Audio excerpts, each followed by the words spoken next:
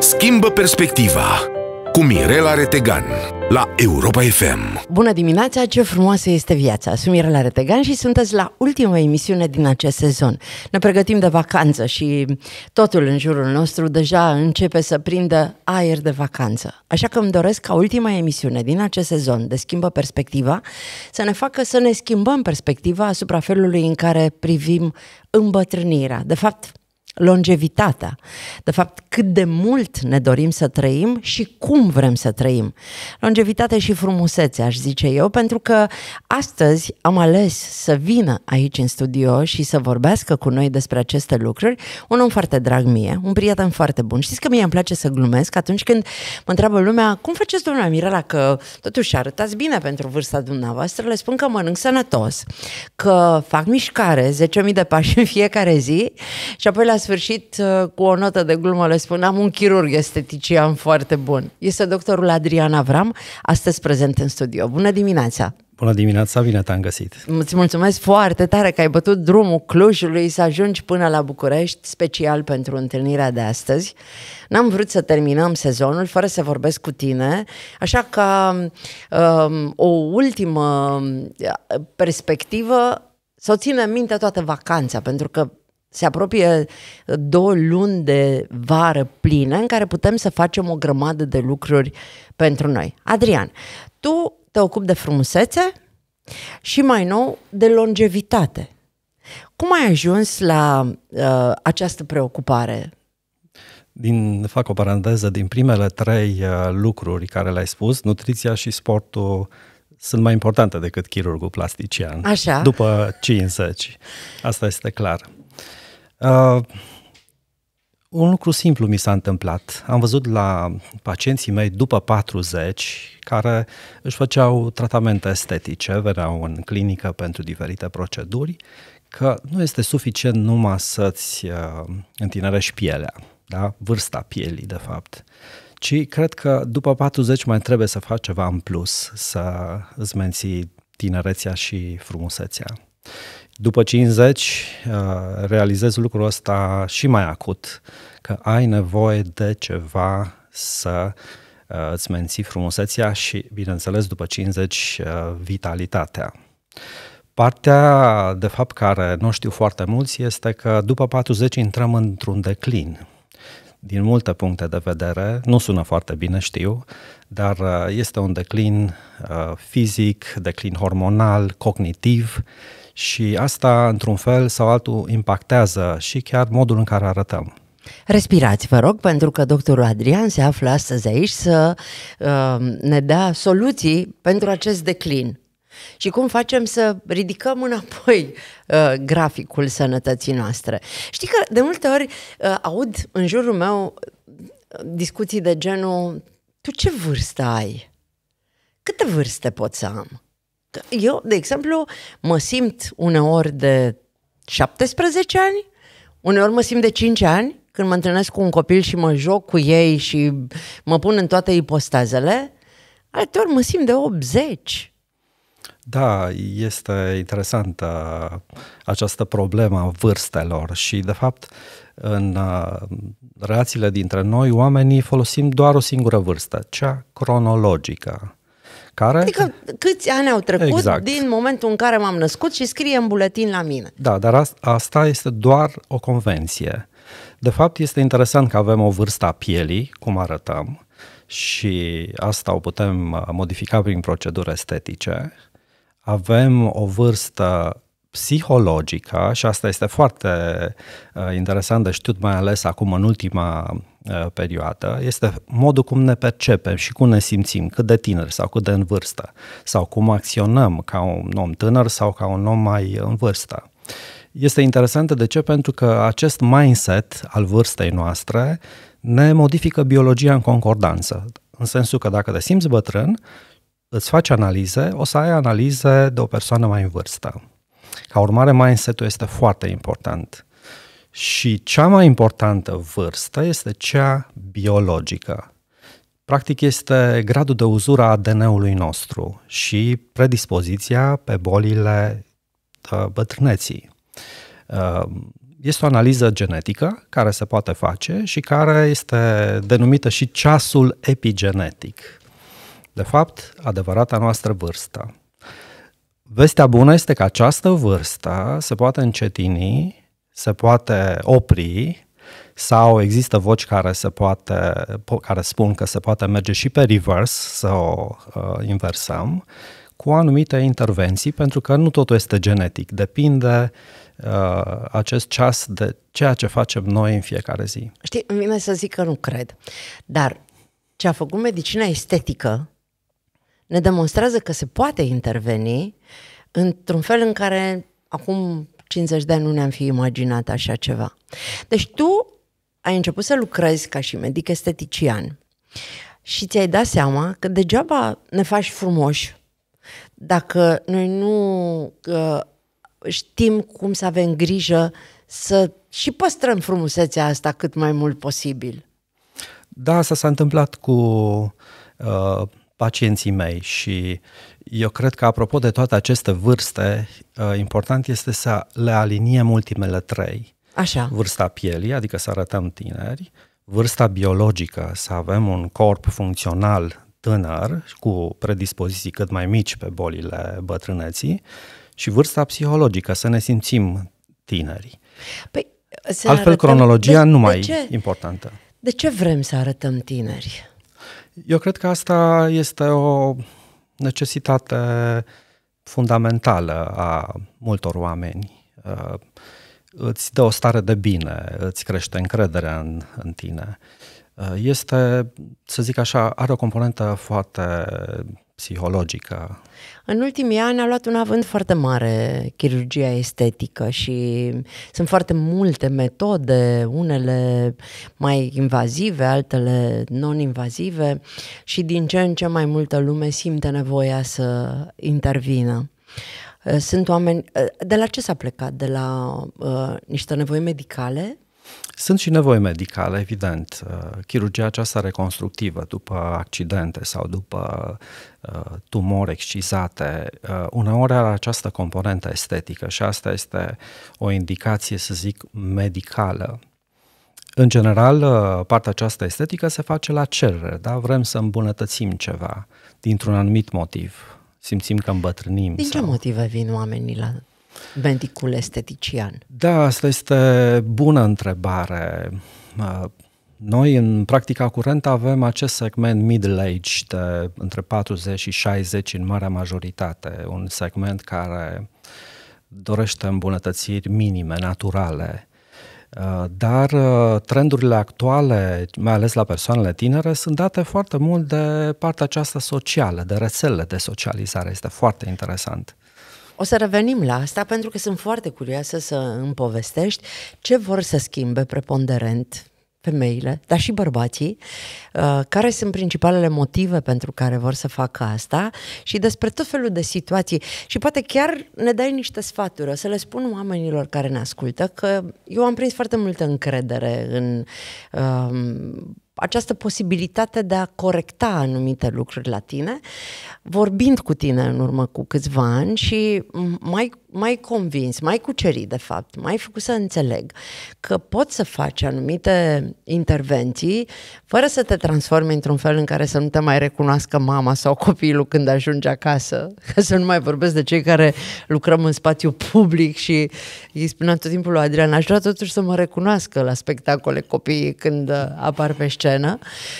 Și uh, graficul pe care tu mi l-ai făcut și felul în care mi-ai prezentat lucrurile pe o durată foarte lungă de timp mi-a dat așa o încredere că aș putea să fac și asta, așa cum am avut încredere să mă duc la medicul stomatolog acum 15 ani, eu având o deformație a maxilarelor foarte gravă și un an de zile am trecut printr-un proces de reconstrucție efectivă a întregii danturi, iar asta mi-a schimbat viața. Uh, doamna Ioana Becheru, medicul meu stomatolog, care uh, a făcut această intervenție timp de un an de zile, acum 14 ani, este omul care mi-a, mi-a dat a doua șansă la viață.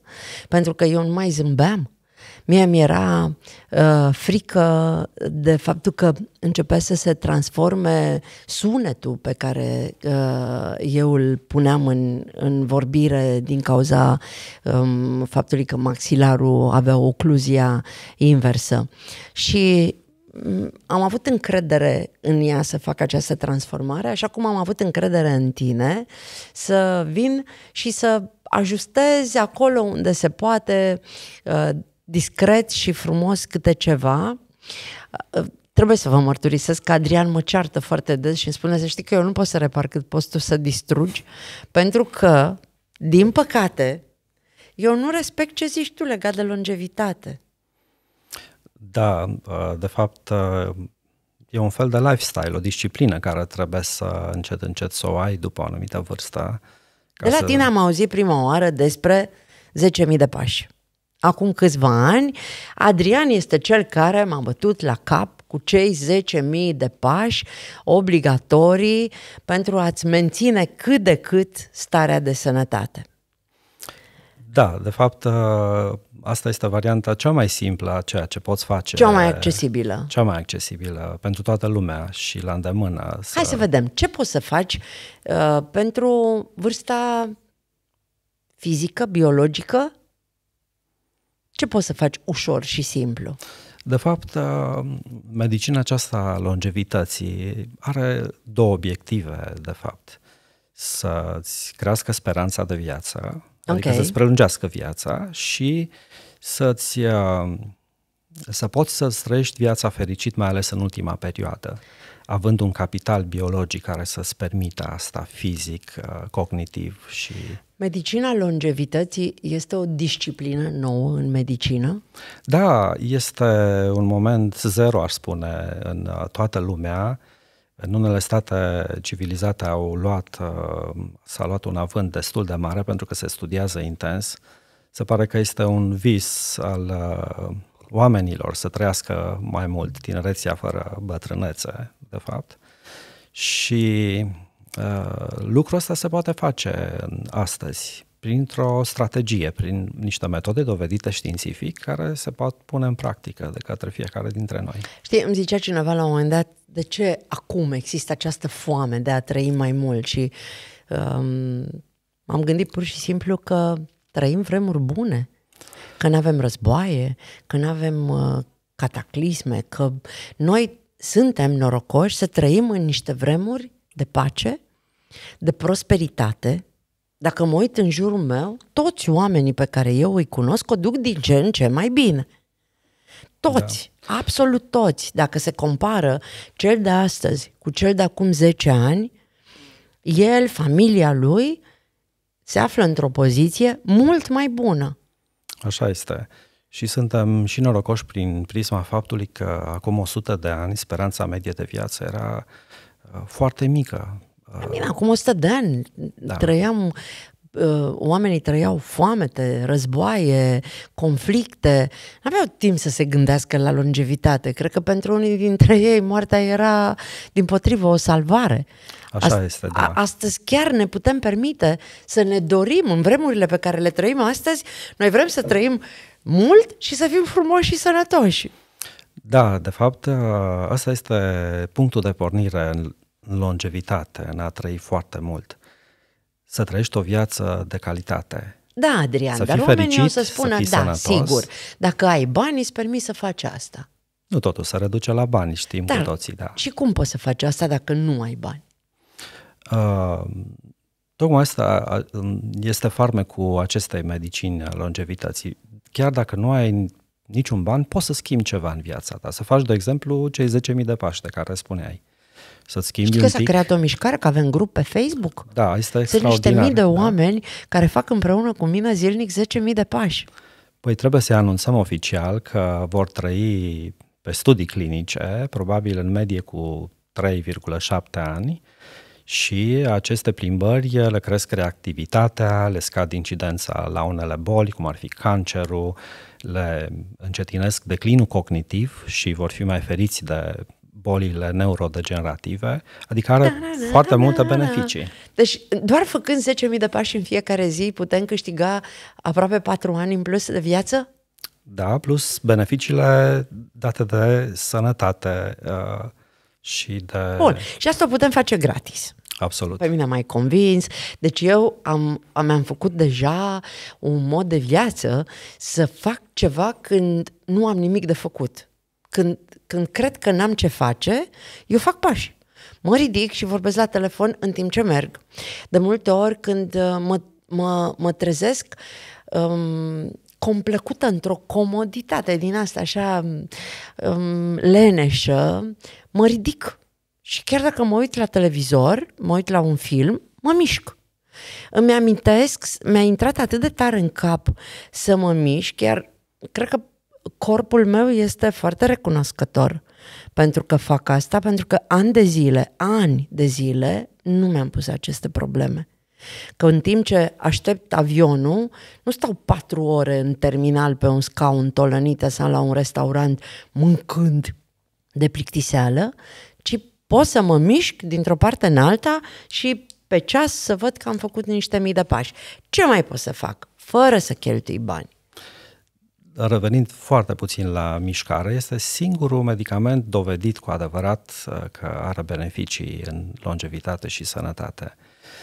Uh, dar uh, partea aceasta de longevitate, ca să trăiești mult și de calitate, este de fapt o strategie care în mare parte este pusă la punct de o echipă medicală, pentru că nu poți să faci okay. de unul singur aceste lucruri și toată această strategie începe cu un set de analize, printre care acest ceas epigenetic, dar și analize despre microbiom, despre care putem să, să uh, amintim, teste de nutriție, nutrigenom, plus analizele generale detaliate, ca să... Ăsta uh, e primul pas. Da, analizele. După care... Există medici care uh, pot să te îndrume ce analiză să faci și la care să vii să citească rezultatele? Da, acum uh, sunt, uh, se schițează aceste centre de longevitate în care sunt echipe multidisciplinare și uh, îți pot indica un set pentru început standard uh, de analize, după care se, acestea se adaptează pentru... Uh, Analize. Ce urmează? O strategie de longevitate, adică, practic, o vedere globală a tot ceea ce ar trebui să se întâmple ca să-ți maximizezi uh, longevitatea și sănătatea, evident, pentru că merg în mână în mână toate aceste lucruri.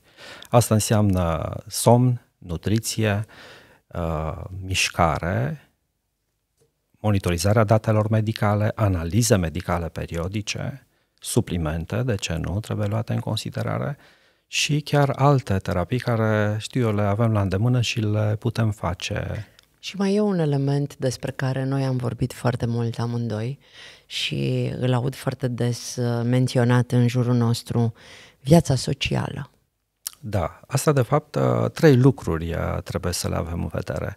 Sănătatea fizică, să putem funcționa, cognitiv, să putem funcționa, creierul nostru să fie funcțional și performant și, bineînțeles, sănătatea emoțională, care e foarte deci, importantă. Deci, mintea, cu, cu alte cuvinte, sufletul, corpul, că ăsta ne ține, sufletul, că ăla ne, ăsta ne simte și mintea, că asta ne face.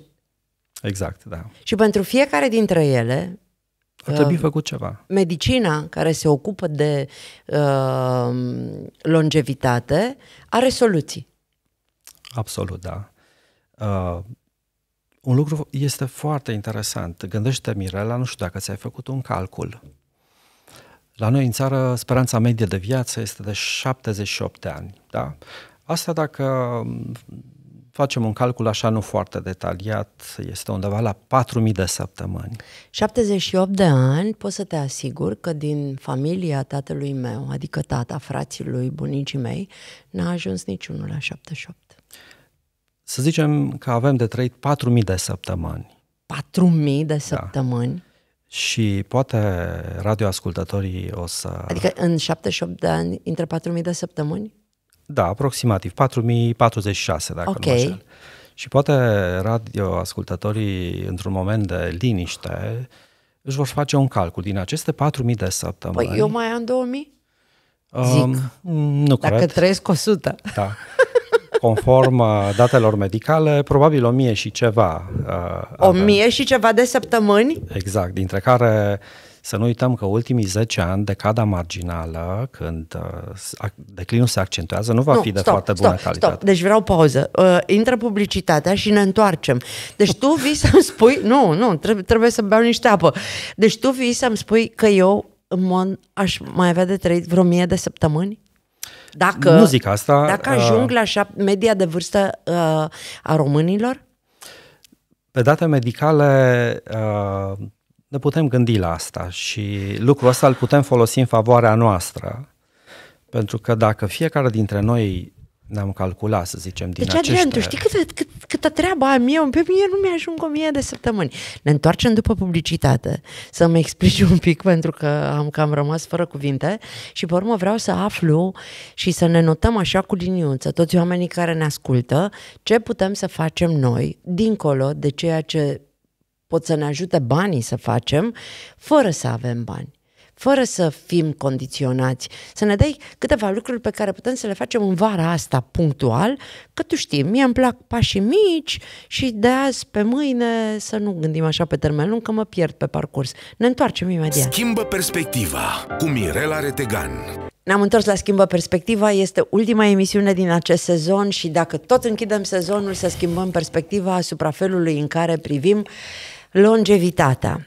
Doctorul Adrian Avram, prietenul meu, uh, omul în care uh, eu am încredere pentru că de ani de zile discut cu el despre acest subiect, ne-a spus în prima parte a uh, întâlnirii că la media de vârstă de 78 de ani pe care o au românii, noi, uh, nu la media de vârstă, la Speranța de speranța viață. de viață pe care noi o avem, uh, eu aș mai avea de trăit vreo mie de săptămâni.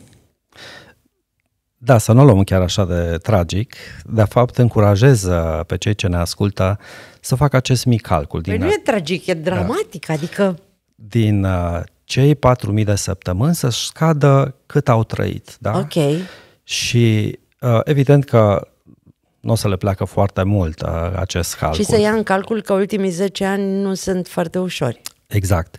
Dar asta ne pune pe gânduri. Da? Dacă ne facem calculul ăsta, o să ne gândim de câteva ori cum ne trăim fiecare zi, care este unică din ceea ce nu a mai rămas.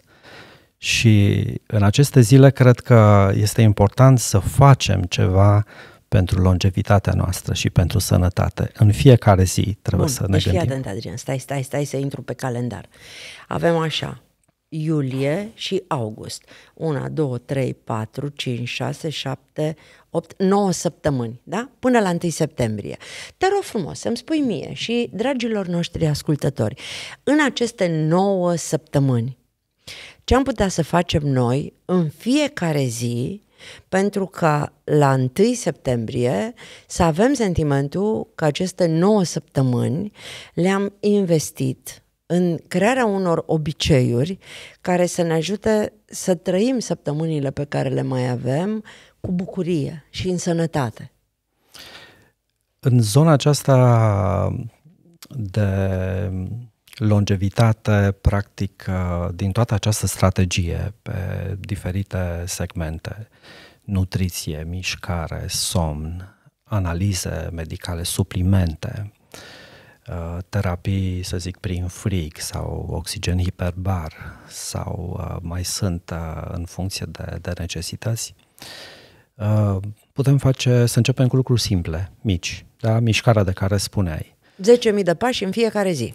Da. Uh, De ce 10.000? Dacă ne oprim la sport, uh, este interesant. Uh, cei care au trăit 100 de ani n-au mers niciodată la sală.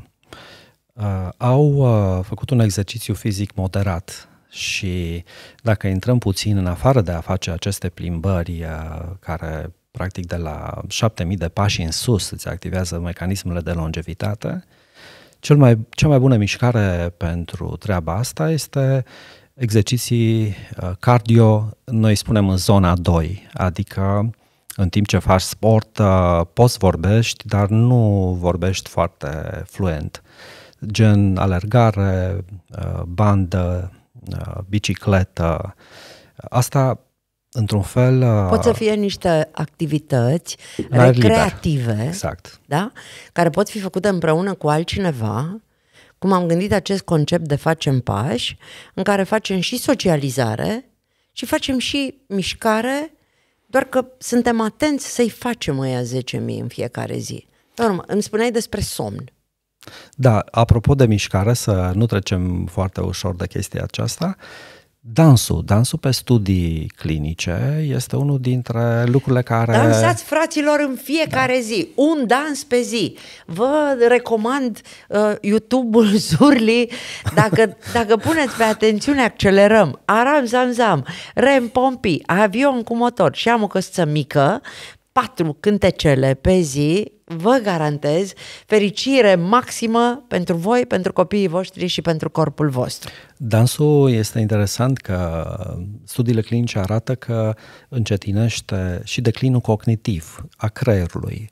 Practic, Ce creierul funcționează... Și sănătos și fericit. Mult mai bine când dansezi, pentru că este o combinație între mișcare și muzică. Știu ce fac în vara asta o să mă vedeți pe toate terasele, în toate cluburile, uh, la toate petrecerile. Deci dacă faceți vreo petrecere, vă rog frumos să mă chemați, când vara asta nu refuz pe nimeni.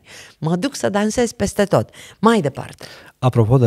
Aș vrea de... să... Mai avem 14 minute și aș vrea să trecem prin fiecare mi-am amintit de o uh, chestie foarte interesantă când uh, am stat o vreme în uh, Taiwan, uh, în Taipei și acolo la un, la un spital și dimineața Uh, plecam spre spital foarte dimineață, pe la 5 dimineața și acolo vedeam parcurile pline. Toată lumea uh, se mișca, culmea dansa, își punea muzică și dansau cu prietenii, meditau arte marțiale. În, și... în Peru, pe mine m-a impresionat foarte tare să uh, aflu că în Lima, în toate parcurile, primăria organizează în fiecare duminică dansuri pun boxe, aduc niște animatori și oamenii vin și dansează pur și simplu. Mamă, deci știi cum erau duminicile acolo? Am prins două două duminii și la venire și la plecare și mi s-a părut foarte drăguț și o idee pe care, uite, mi-am amintit-o că o uitasem. Și văzând parcurile acestea foarte pline, ajungând la spital, am întrebat pe colegul meu, doctorul chinez, uh, ce se întâmplă și mi-a zis un lucru foarte interesant. Uh, spuneau că dacă faci uh, lucru care îți place cel mai mult la începutul zilei, pe urmă ziua ta va fi cu totul frumoasă, îți uh, va place, va plăcea în continuare. Începeți ziua cu ce vă place să faceți cel mai mult, dansați și în timpul ăsta faceți și cei 10.000 de pași. Apoi, Dieta, putem să avem grijă la partea de dietă. E un lucru care nu ne costă nimic, de fapt. De când îl cunosc pe doctorul Avram, iubesc sparanghelul, uh, spanacul, uh, multe care încep cu S și sunt vers toate. Uh, pentru că mie mi-a intrat foarte tare în cap povestea asta cu da, la dietă sunt niște, sunt niște principii, nu sunt nutriționist să dau sfaturi exacte, dar sunt niște principii, să mănânci mai puțin, să ai o perioadă mai lungă între mese, să-ți modifici un fix. pic, da, să-ți modifici un pic uh, compoziția uh, ceea ce mănânci. Fasting, posturi, da. ce le zice și dacă, doctor Cezar și Dacă atâția. poți uh, să iei și niște suplimente, ah. pentru că... Suplimente, de astea trebuie să ți le recomande cineva în funcție Absolut. de analize, nu? Da, da. Ar fi bine să nu facem asta, că mai că mai ia toate suplimentele posibile. Am o întreb, mă, dar astea pentru ce sunt? Nu știu, dar bune și ale ea să fie acolo pentru orice eventualitate. Deci, mișcare, am zis uh, uh, ce mâncăm, somn, obligatoriu. Și unul din uh, lucrurile care mi se par foarte importante și ține într-un fel și de medicina asta de prevenție care uh, este mediatizată este să-ți faci în fiecare an analizele complete uh, ale corpului, să-ți verifici diferiți parametri. De ce? Pentru că aceste analize se fac când ești sănătos. Când ai o simptomatologie clinică, da, cum se întâmplă de obicei, mergi la doctor, îți descoperă ceva, poate ceva foarte grav, și acel ceva poate fi într-un stadiu avansat în care ai uh, știu eu, tratamente complexe de efectuat sau chiar ai o veste foarte proastă că ai o patologie oncologică care... Am auzit la un nu. moment dat ceva ce mi-a plăcut foarte tare. Du-te să fa- îți faci analizele și când scoți rezultatele, sărbătorește faptul că sunt bune da. și că ești sănătos. Una, de exemplu, noi uh, la Cluj am introdus uh, împreună cu un ecografist uh, care este foarte priceput, ecografia în medicina de longevitate. Ce înseamnă asta? Mm. O scanare generală a corpului în care, unul, îți poate detecta modificările de îmbătrânire pe diferite organe și te poate atenționa ce să faci din timp. Și al doilea lucru, îți poate detecta anumite procese patologice într-o stare incipientă, care nu au încă simptomatologie clinică. Și tu îmi spuneai că vrei să faci o clinică uh, în care oamenii să vină, așa cum se duc la sală, să facă ceva pentru longevitatea lor. Da, sper să dăm uh, vestea cât de curând uh, celor care le Hai ascultă. să vorbim un pic și despre chirurgia estetică. Pentru că ne-am dus în longevitate, oricum cred că oamenii sunt foarte fericiți, pentru că degeaba ești frumos dacă mor repede. Sau te dor genunchii, nu? Sau te dor, nu mai mai aminti. Așa, hai să ne întoarcem puțin la uh, de ce vrem să fim frumoase. Uh, sunt, sunt diferite motive uh, în care, pe care am dorit să facem proceduri estetice și uh, lucrurile acestea se întâmplă mai ales când uh, realizăm că îmbătrânim. De exemplu, un lucru interesant, foarte multă lume uh, apelează la aceste proceduri când au întâlniri de 20 de ani, de 30 de ani sau după aceste întâlniri. Se întâlnesc cu colegii care... Întâlnirile uh, de sfârșit de liceu sau exact, de facultate? de facultate. Oh, da. Și atunci este un moment Așa. în care uh, chiar uh, văzându-i pe colegii tăi îți dai seama că și tu ai îmbătrânit de fapt și... E foarte uh, bună asta. Da, Dacă ai, ești realist, eu prin comparație m-am văzut și mai tânără.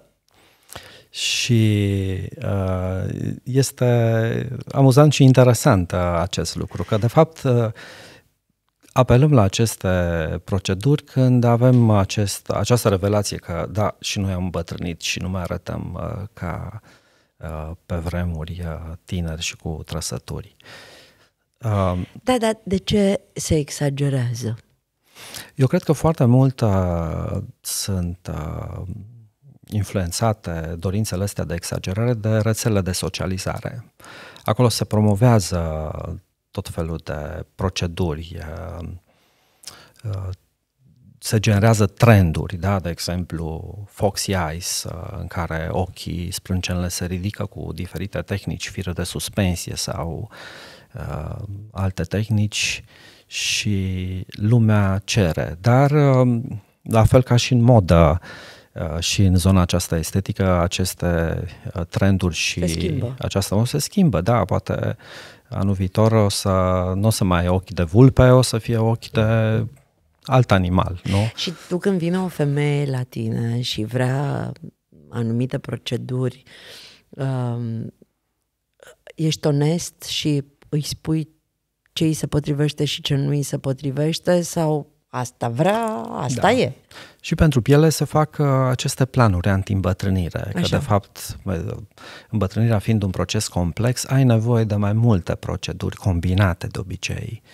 Uneori cu chirurgie, alteori nu, firă de suspensie, partea de injectabile pe care toți o știm, Uh, plasma proprie și medicina regenerativă este foarte interesantă, mai ales în uh, ultimii 10 ani s-a dezvoltat și le facem un plan, da, care uh, planul acesta de fapt îndeplinește niște obiective care le stabilim împreună.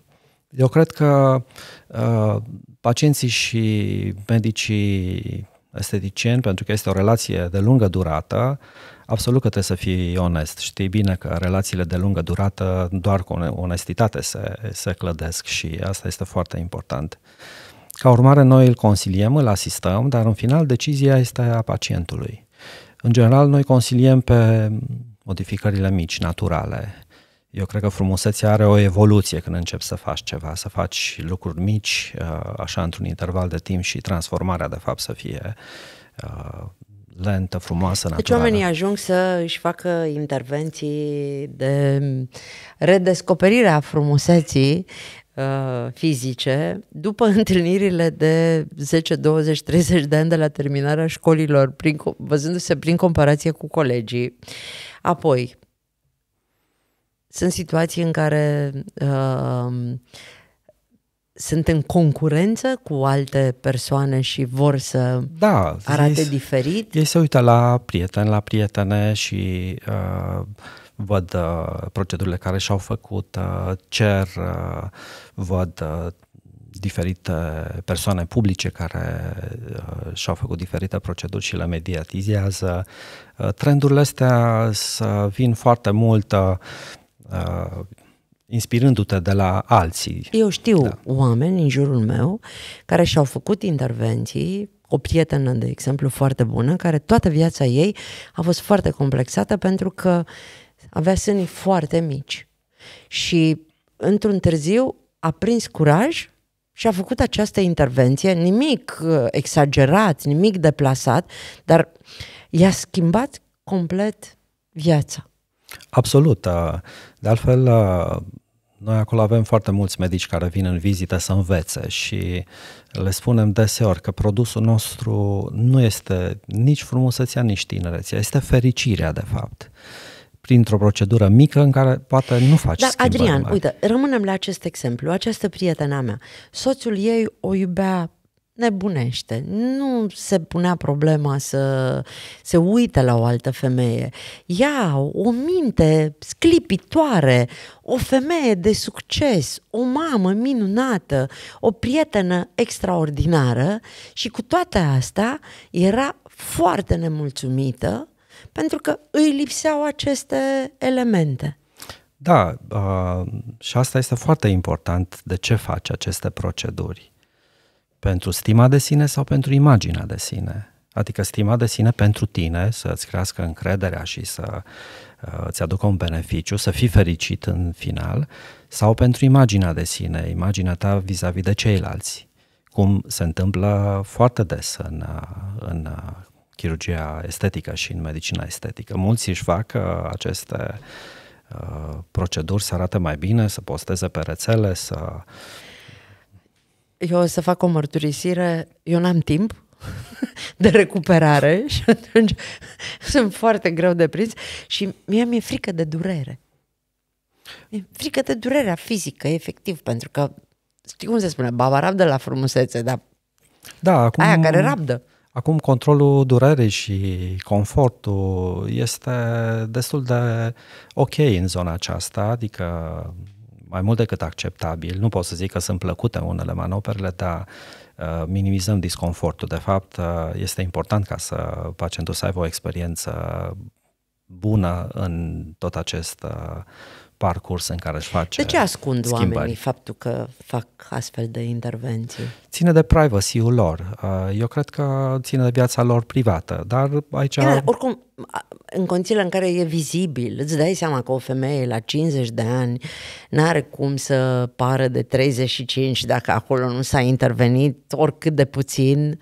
De ce totuși aleg să nu vorbească, să nu recunoască Deși aici uh, țin să spun că poți face proceduri estetice și să ai o frumusețe și o îmbunătățire așa de naturală încât să nu-ți dai seama ce proceduri și-au făcut. Arată bine, dar nu-ți dai seama, are fire de suspensie Dar nici nu contează ce proceduri. Faptul că ă, dacă oamenii ar fi mult mai onești și ar recunoaște, nu ar mai vinde iluzii celor care își imaginează că poți să obții asta pur și simplu, respirând aer și stând, uh, manifestând. Îmi doresc să-mi întinerească pielea. Nu îți mai întinerește pielea niciodată.